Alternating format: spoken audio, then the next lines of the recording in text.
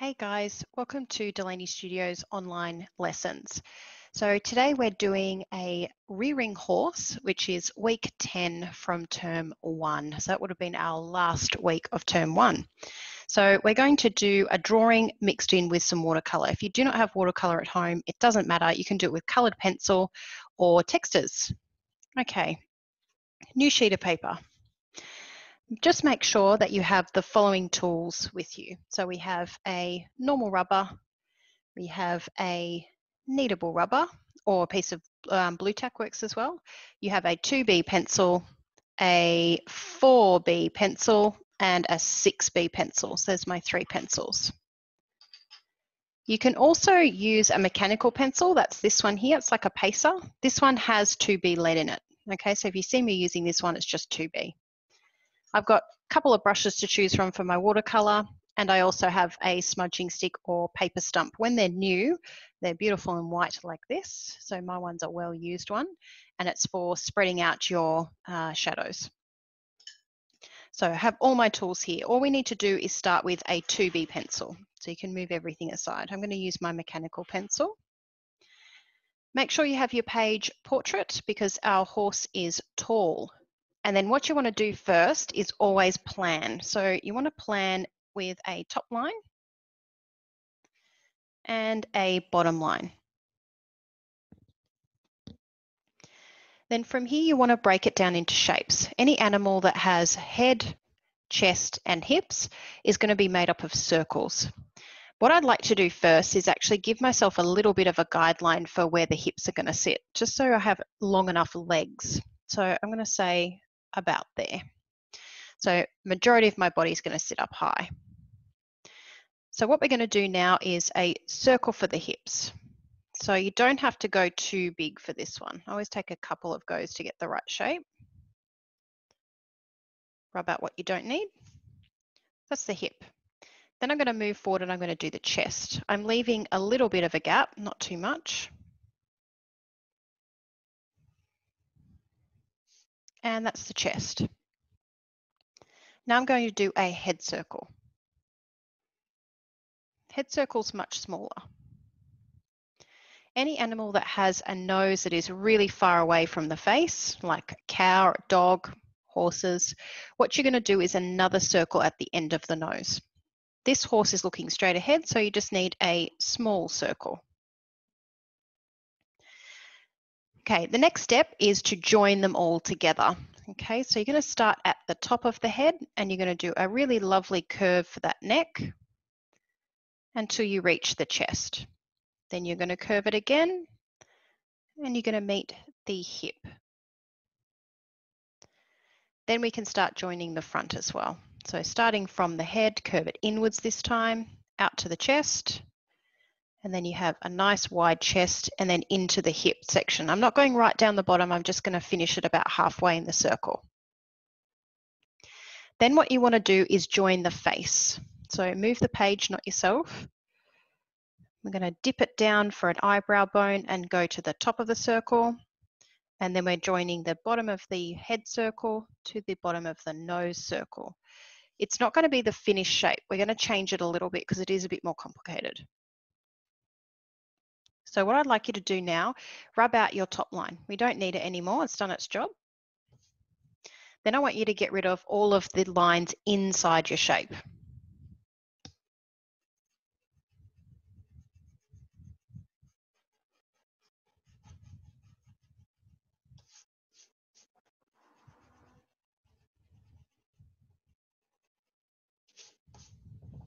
Just going to pop my lines back in.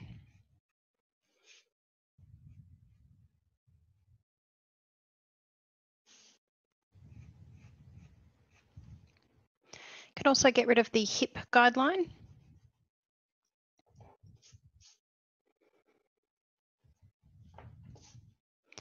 And now we're ready to move on to the legs. So I'm going to start the legs first, the back legs. So it starts with a straight line for that hip. The hip is actually quite straight. So I'm going to straighten out that hip circle. Then I'm going to curve it inwards. And then I'm going to curve it outwards. So this is going to be like a lightning strike. So it comes in again, just off the joints. Now I know I'm not going to run out of room here, so I'm going to get rid of that bottom line because it will actually get in my way. So let's get rid of that. Again, done its job. I know I'm not going to run out of room. Now with the ankle, there's an ankle bone that comes in. So it's almost like an S. And it comes out a little bit. Then this is the hoof. Straight line, straight line, bring it back up.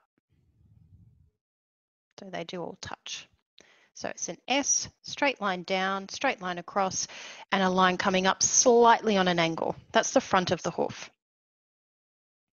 Now we're just going to curve it towards the ankle and then you're just going to bring it back up again. As you come up, just like our thighs, they're going to get thicker than our ankle. And you curve it right up towards the belly. My horse is really skinny at this point. I'm going to widen him out in a bit. So let's get rid of any rest of that bit of the hip circle. Just get rid of that. I'm going to take this opportunity to fix the chest up a bit. It's actually a much wider chest. So come right out and then come in and join it with the thigh. Get rid of your original line.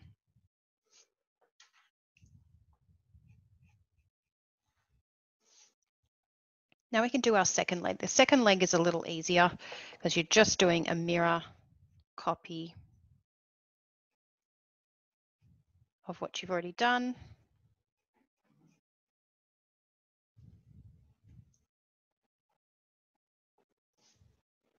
Straight line for the hoof and it comes up with the letter S for the ankle and then up we come until we touch the other leg. It doesn't have to be perfect. They are different. They're different shaped hooves too, so don't worry too much. Okay, we've got two legs. Now we're going to move on to the upper legs up in the air. These ones are a little trickier because they're actually curved in. So what you want to do is start in the chest and they actually start a little high up. You think they'd start sort of lower down, but they're actually further up. And the way to start them is a capital L. That is like the elbow almost.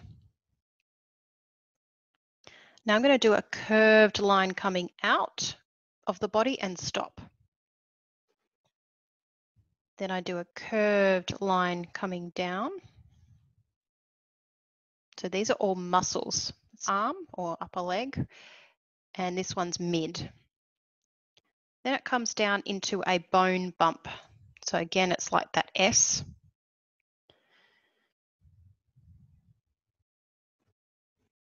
That's the top part, and that's the lower S. Then the hoof again, so it's the same as the other two. Straight line. This time you can curve it a bit because it is on the side and you think the hooves are curved. Then we just bring it back up. Bone, back up. Nice big curve for a knee. And then curve it till you come into the body. You can put a little extra little wrinkle in the skin if you'd like to and then you're going to take your chest line out of the arm because the arm is in the front, so you shouldn't be able to see the chest, so get rid of that line. Then from here, you can do the second arm. So that one comes from the belly and touches the first one. Then the knee starts from the first knee. So curve it out and then just copy the same lines again. I always like to put a little gap there because it actually does separate the uh, little ankles out. If you left that, it just looks like it has one ginormous thick leg. So I do like to include that line in. From here, we can move on to start fixing the face up. So we have a really lovely strong jawline. It's like the letter U really stretched out. So that's what we want to get in first. So I'm going to bring it bigger than the actual face because it's not quite wide enough. Then get rid of your original line inside that. don't need it. The next thing is we have a little curve for under the chin. So little curve. Here's a close-up view.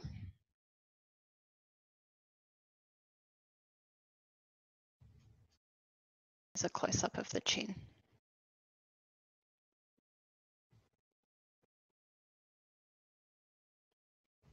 So it's a little curve.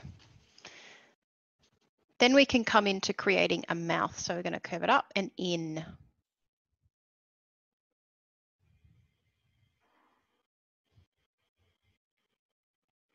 Now we've got the front of the mouth and that's going to come out a bit further. And we've got a little lump for a nostril. So we've got a little bump there. Again, I'll show you close up. Extra bump.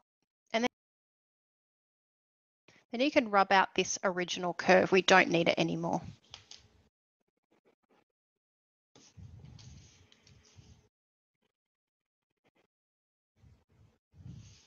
can also do a nostril on the other side. The nostril is like a comma. It's a circle with a little tail.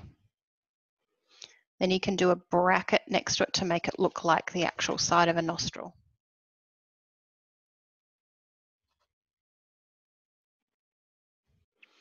The eye is nice and straightforward. The eye is a sideways V.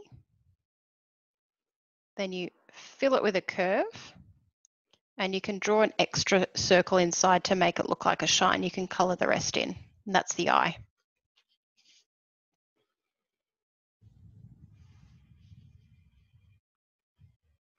Okay, the next step is to do the ears. So the, the ears are like a leaf shape and they always start inside the head.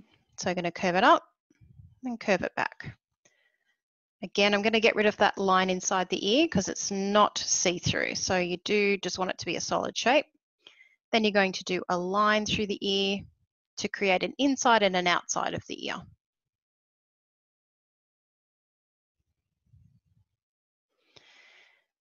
From here, it's a little bit tricky to do the second ear unless we have the mane in. So that's the next thing we can add. The mane starts at the top of the head and touches the ear. Once you've got that line in, you can do a skinny little triangle pointing forward. I'll show you a close up.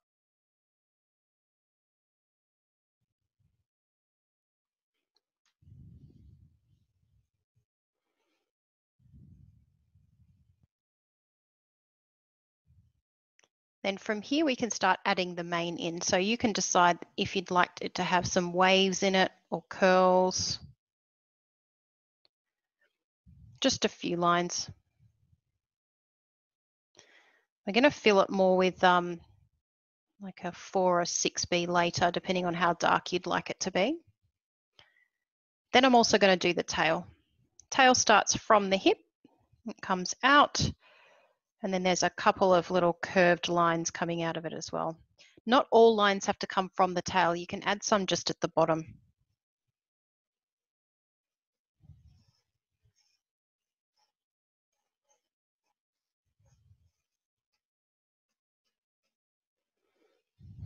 Okay, that's all the 2B done.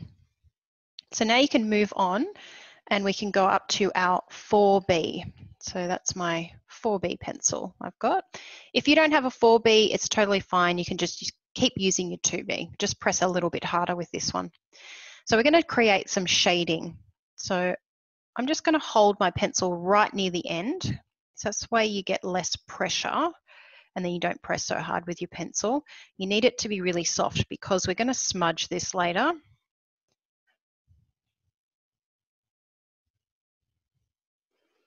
And if you press too hard, it's almost impossible to smudge it. So I'm not colouring everything, just colouring little sections. I'm going to smudge it all.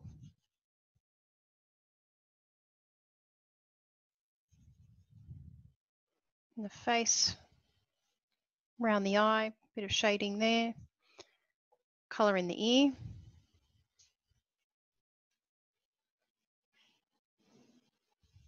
This is all still with 4B.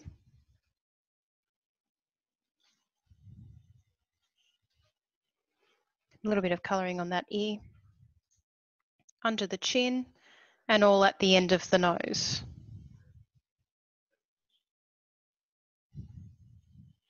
Now we can come into the legs. So the legs pretty much use the underneath as a guide, underneath each leg and around the knees. You can leave a little gap and around any joints.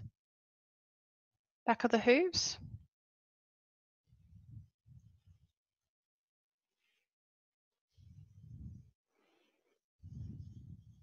Lots of shadow on this back leg.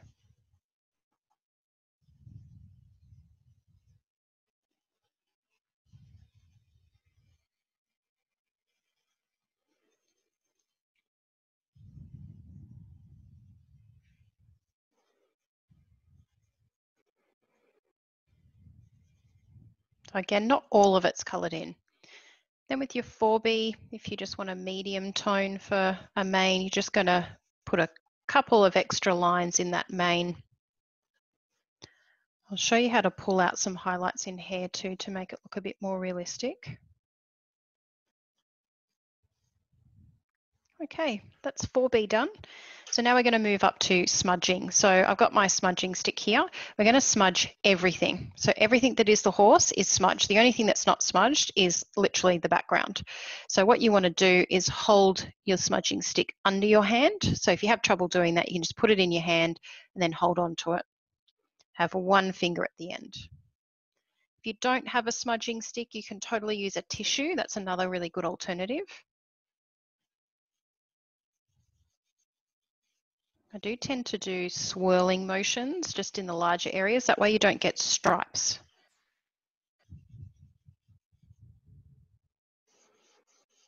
Let's get a nice smooth tone. Up the ears, smudge those, around the face. Doesn't matter if you go over the eye because you can always pick out those highlights using your um, kneadable rubber or Blu Tack. If you don't have a kneadable rubber, Blu Tack works just as well.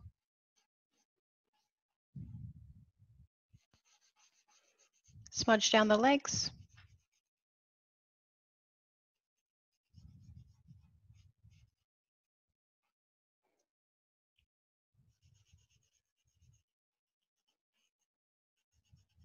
Don't worry if you get it outside of the lines, it doesn't matter at all. We'll come back in and outline it and clean it up.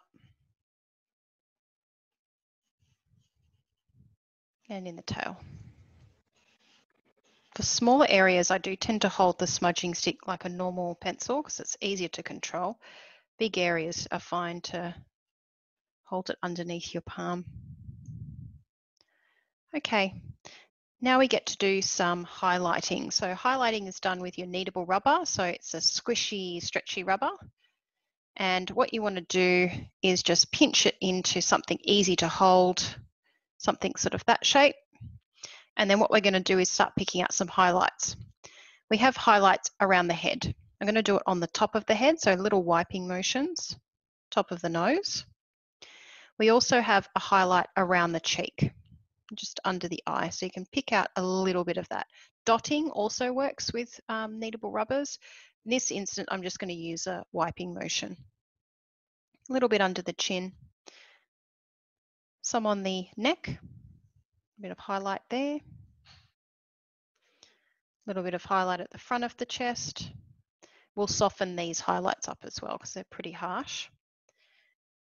Highlight under the belly and a little one next to the belly. And you do a highlight on the back of the body. Again, I'm keep pinching and molding it into a new section because it does get really dark. You can see that original darkness. So just keep folding it and pinching it into a new area. Then we've got a highlight at the front of this thigh. We'll continue it down on the front of the leg, front of the lower leg, front of the hoof. And you're going to do the same thing again on this one. A little bit of highlight on that knee, down the front of the leg, front of the hoof. Can also use this time to get rid of any smudgy bits that you got on the outside, clean those up. Doesn't matter too much because um, we will be doing the watercolor in the background. Now we're going to do the front legs. So highlight on top of the legs this time, inside the knee, front of the leg, little joint, front of the hoof.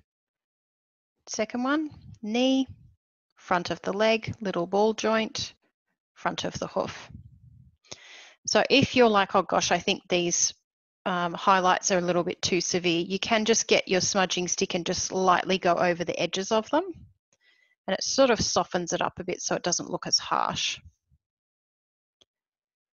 And that's the 4B done. So we're going to move up to 6B now. I've got my 6B pencil here. Then what you want to do is outline everything. You want it to stand out a little more.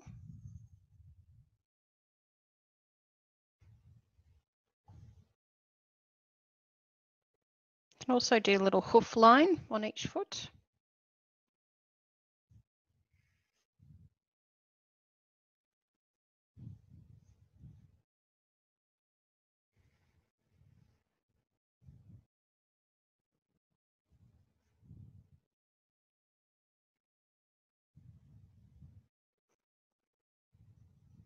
Everything that you drew in 2B, you're going to go over with 6B. The reason why I didn't use 6B first is it's really hard to rub out. So best to have it all planned in your 2B pencil, which makes it really easy to rub out. Little hoof lines as well. Up into the face. Big U for the jaw chin, mouth, top of the head, can go over the ears, the nostril, nostril line, the eye, V shape, leave a little gap for a shine. And then you also want to bring in some extra lines, just a few into the tail. You don't want to do too many. And then a few into the mane just to bring out a few extra little shadow areas. Just like that. You can give it a little smudge to soften that off if you feel like it's a little too dark. Now with the hair, what you can do is use your kneadable rubber or even your normal rubber. If you've got a normal rubber, it works really well. What I'm going to do is just take a couple of lines down out of my tail. So you're getting highlights and you're getting shadows. However many you think. Don't want to rub out too much.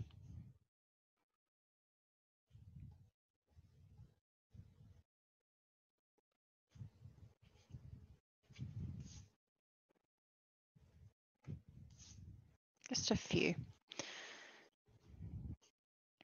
So you can see some highlights in the tail and a few highlights in the mane. So from here we can start to do some watercolour. So I'm going to get rid of all my little rubbings out, move all my pencils away, don't need those anymore. And I'm going to bring out my watercolours. You can try a couple of different watercolour ways or options of colour. Here's another option.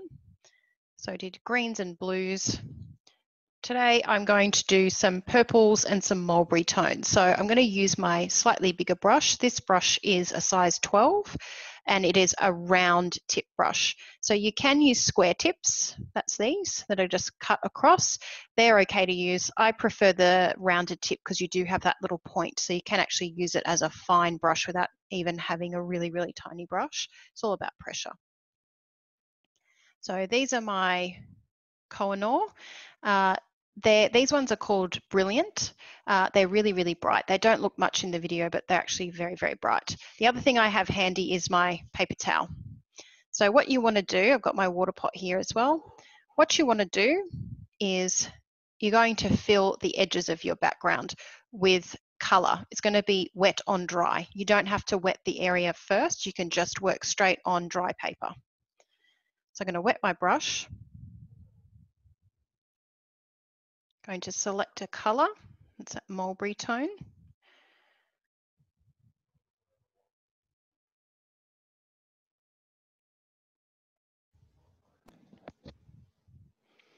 Make sure you use plenty of water. You just want to randomly bring it out.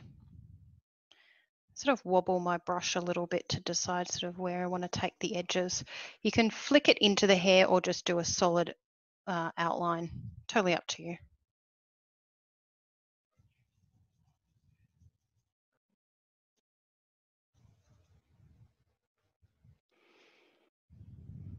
Might bring that color down here a little bit too. Then I think I'll turn it into a purple.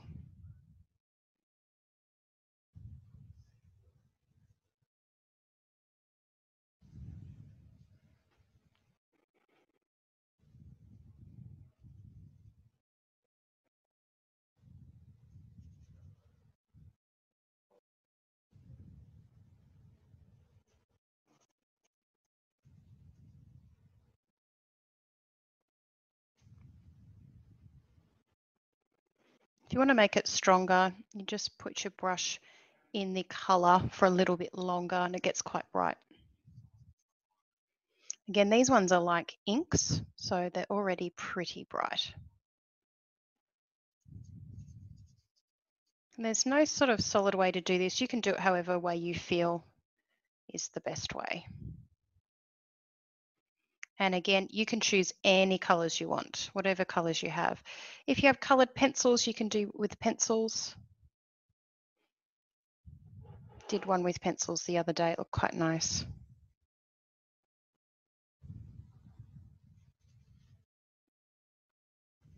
You don't have to do everything, so you can just do a portion.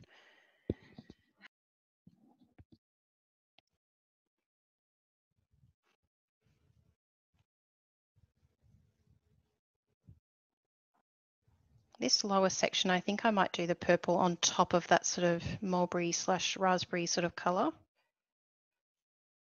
You can put salt in the background if you're after like a cool little technique.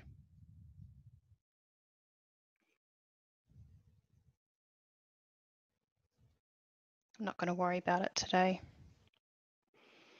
A little bit of purple over the top. Let's mix the two, make it interesting.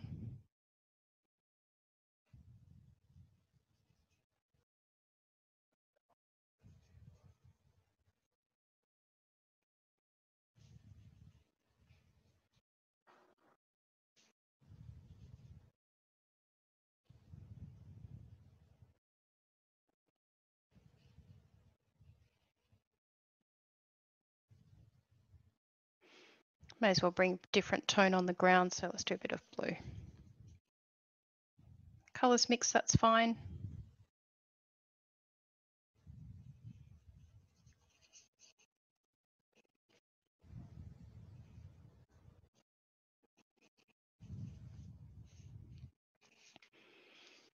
And there you have your finished piece. So you don't have to take it right to the edges. Uh, it's more interesting if you have some resting space. So these areas are for your eyes to have a bit of a rest so you can come back in and take it all in. Anyway, that's it. So thanks guys. See you next time.